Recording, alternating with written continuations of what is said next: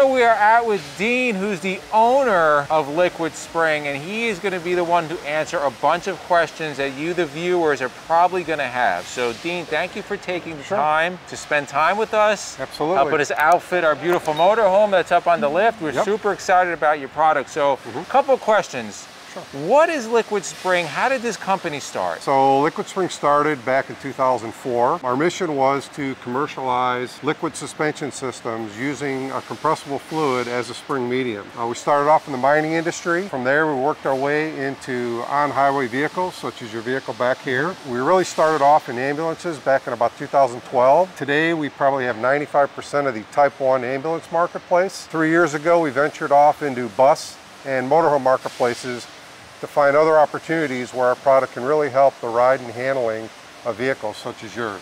So a lot of people know about what your system does mm -hmm. as uh-huh. far as, you know, we've spoke at nauseum over what your system does. We've done mm -hmm. another video, we'll link that above, but sure.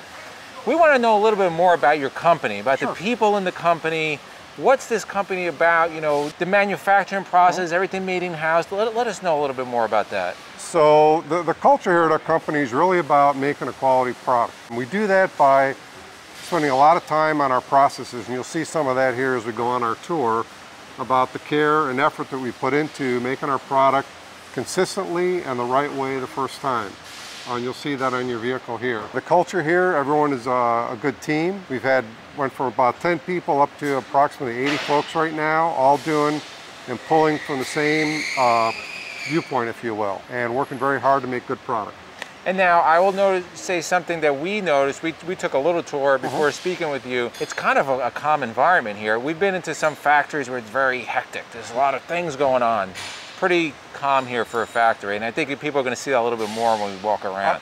I, I, wouldn't characterize it as calm. I would just characterize it as very organized. Organized, okay, um, perfect. Which, which you'll see the area is fairly clean. Tools are where they're supposed to be, such as our shadow boards over there, our, our, our mechanics are using. So everything has a place and a place for it. So we know where to get our equipment. So there's not a lot of hecticness, if you will, or chaos that you're referring to. Everything's very organized and everyone knows what they need to do because we process your process is set up for everything. And that's going to be reflected in a superior product.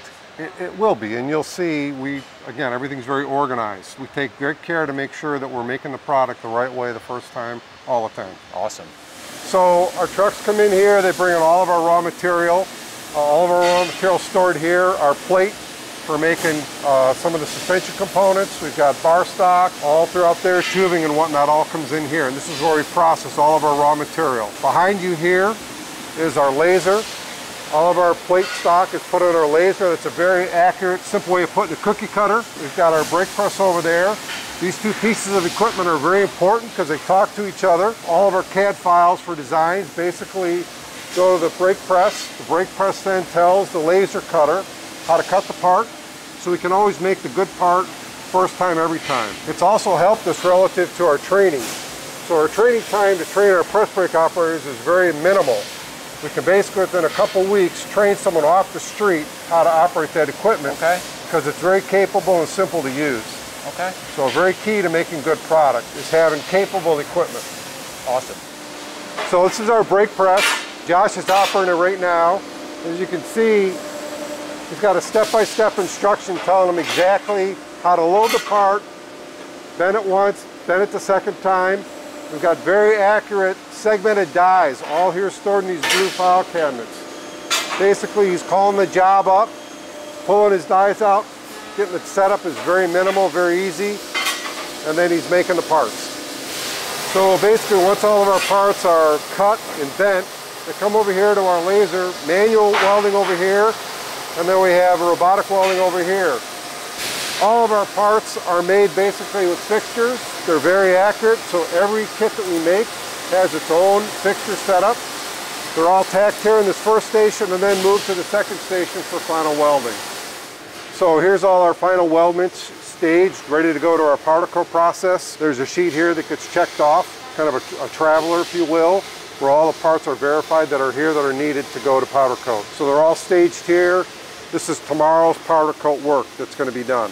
So I have a question. So Wayne told me you have a very interesting background. Mm -hmm. And I think our viewers and potentially customers may want to know a little bit about what you know regarding suspension. So I've been in the suspension industry for 30 years. Started off doing uh, steel spring and air suspensions.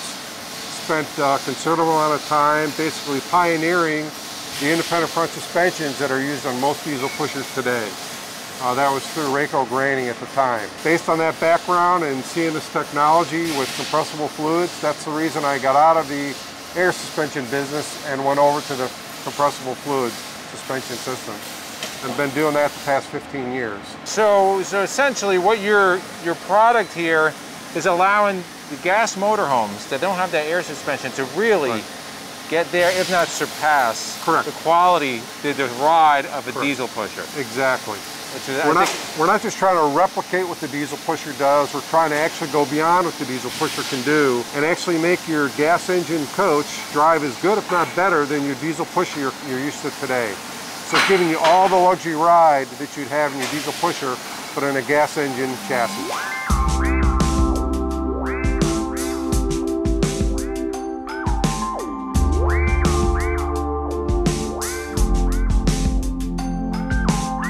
So one of the reasons our shop runs so well is because we have a very uh, well-equipped and staffed maintenance department to make sure all our equipment is up and running all the time if it breaks down. However, we have an extensive preventive maintenance program in place that these gentlemen here run that basically makes sure all of our machines are operating all the time, which makes us very efficient in terms of how we operate. So here we have some of our weld rotators. These make our volumes, strut bodies, rod assemblies. Uh, you'll notice these areas fairly clean. Oh, it seems pretty innocuous. Our RoboVent there, another clean environment. We're trying to make sure that our operators are well cared for they're taken care of. Again, making it a nice place to work, if you will. So this is one of our machining centers, very important to, to part of our product. We make this gland material here. This gland is very instrumental in our strut element. There's a lot of features on here. Basically, the operator loads the part in a blank like this, and the machine does all the machining processes to make this part right here. We have all of our control charts here for documenting all the particular features. Make sure that the quality is built in. We give our, all of the inspection equipment is here, so the operator is really responsible for his own quality. We don't have, say, an internal quality department where people come around like, say, the, you know, to inspect things. We let our operators take care of it and give them the responsibility and the ability to basically ensure good quality. So here we're going for what we'll call a batch process to one-piece flow. All those carts you saw with all the kit components are sitting there in the pallet. They're then loaded onto these carts. Carts are very instrumental for us in terms of our powder coat process. Basically, it allows us to one time load the parts. We basically can clean them or abrade them. We can powder coat them, run them through our oven, they don't come off the carts until they're ready to be packed into the box. It's a very key thing for our processes in terms of producing a good quality powder coat on our parts. So part of our powder coat process is preparation. And we do this by putting all of our parts through this large shot peening device. Some people like to call it a giant dishwasher. But anyhow, these trees are picked up, loaded one by one. There's two trees per cart.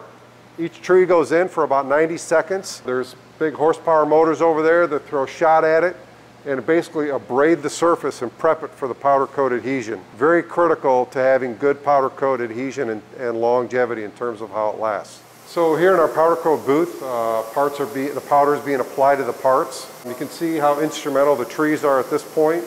Basically, the operator does not have to touch any of the parts. He can literally grab onto the hooks and rotate the part to make sure the powder application is even and complete. Uh, very critical to getting good powder coat application.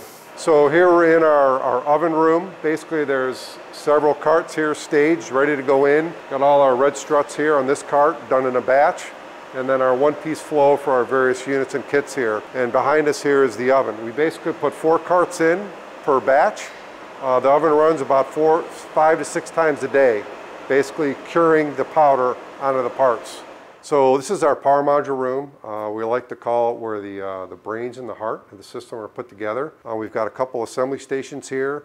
There's some pre-assembly, some reservoir assemblies. Then we actually do what's called a, a power module buildup right here. Then there's a final test station over here. The, the purpose of the final test station is to test all the parts put together as an integrated compo componentry, if you will. It's hooked up as if it were connected to the vehicle and tested through about a 40 step process to make sure everything is working right so that when it gets to our installer, the people that are on our install bay right now or an outside installer, that the part's gonna work like it's supposed to. So now we're in our strut assembly room. Uh, these are some of our powder coated strut bodies. We need to put the strut bodies together first.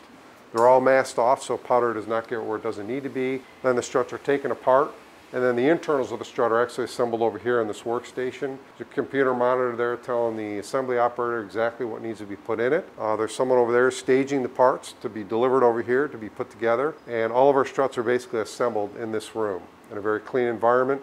All of the, the parts that are needed are behind me here in these bins provided by all our suppliers. So this is our strut tester. Basically, uh, every strut that gets assembled gets tested in this apparatus. Strut tester makes sure that we have the right extended and collapsed length, as well as having the right damping characteristics. Uh, basically goes through about a 10-step process, filling the strut, checking the dimensions of it, and making sure that, the, that it's been assembled correctly in the strut assembly room behind us. So Here's our powder coated cart all ready to go. Uh, all of our final assembly stations are here. We've got volumes that need to be assembled, rate valves to be put in. We've got control arms that need bushings put in. There's stations back here behind me to do that. Hoses are made over here to my right. Basically all those parts are assembled and then put into a box over here for final packing. So a marriage of all of our power modules, struts, all these assembled parts are all put into the box and ready to go to the customer. Wow, Dean, so thank you so much. Super informative. I don't think there's anything else out on YouTube with a tour like this. Mm -hmm. So people really know what they're getting if they're going to get into a liquid spring suspension. Right. You can see behind us, this is actually the rear part for our coach and we're really excited about this. So mm -hmm. in the comments below, let us know if you have any questions about liquid spring, if you own liquid spring, what do you think about it? And for myself, Dean, MJ, Wayne, and Chris, we're all here at the factory. We thank you guys for watching, and we'll see you on the road. Thank you very much.